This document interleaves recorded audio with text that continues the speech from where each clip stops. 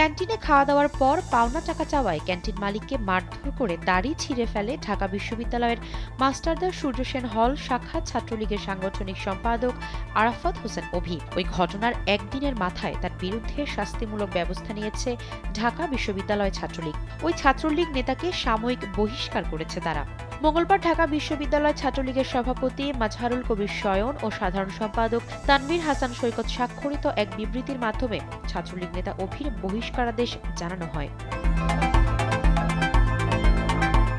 বিবৃতিতে বলা হয়, বাংলাদেশ ছাত্রলীগ ঢাকা বিশ্ববিদ্যালয় শাখার এক জরুরি সিদ্ধান্ত মোতাবেক সংগঠনের শৃঙ্খলা ও মর্যাদা পরিপন্থী কার্যকলাপে জড়িত থাকার অভিযোগে ঢাকা বিশ্ববিদ্যালয়ের মাস্টারদা সূর্য সেন হল শাখা ছাত্রলীগের সাংগঠনিক সম্পাদক আরাফাত হোসেন অভিকে সাময়িকভাবে বহিষ্কার করা হলো।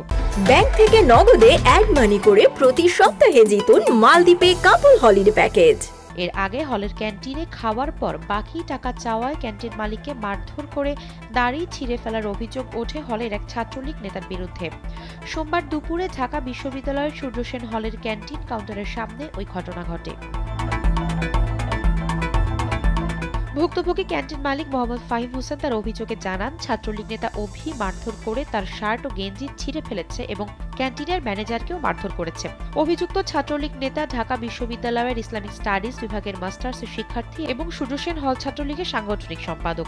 ওই ঘটনায় ভুক্তভোগী ক্যান্টিন মালিক ফাহিম বিচার চেয়ে হল প্রাধ্যক্ষ বরাবর একটি লিখিত অভিযোগ করেছিলেন। জানা গেছে, বেশ কয়েকদিন ধরে বাকিতে ক্যান্টিন থেকে খাবার খাচ্ছিলেন ওই ছাত্রলীগ নেতা অভি। সোমবার দুপুরে খাওয়া দাওয়া করার পর আগের বাকি টাকা চাইলে ওই বিলও বাকি লিখে রাখতে বলেন তিনি। এতে ক্যান্টিন মালিক ফাহিমের সঙ্গে অভির কথা কাটাকাটি হয়। এক পর্যায়ে অভি ক্যান্টিন মালিকের খানিকটা দাড়ি টান দিয়ে ছিঁড়ে ফেলে এবং তাকে ও ম্যানেজারকে কিল খুশি লাথি দেওয়া শুরু করে।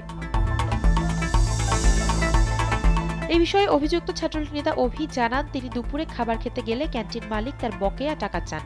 কিন্তু বিকাশে সমস্যা থাকায় তিনি তখন টাকা দিতে পারেননি। এ নিয়ে কথা কাটাকাটির এক পর্যায়ে ক্যান্টিন মালিক তাকে ধাক্কা মারেন। অভিও তার কলার টেনে ধরেন। ধাক্কাধাক্কির মধ্যে তার দাড়িতে অভির হাত লেগে ছিঁড়ে যায়। তবে ক্যান্টিন মালিককে মারধরের অভিযোগ অস্বীকার করেন তিনি। এ বিষয়ে সূর্য সেন হলের প্রাধ্যক্ষ অধ্যাপক ড জাকির হোসেন ভুইয়া জানান, এই ঘটনায় একটি তিন সদস্য বিশিষ্ট তদন্ত কমিটি গঠন করা হয়েছে। তারা তিন থেকে পাঁচ দিনের মধ্যে তদন্ত প্রতিবেদন দাখিল করবেন। আফসারা নাজ কালবেলা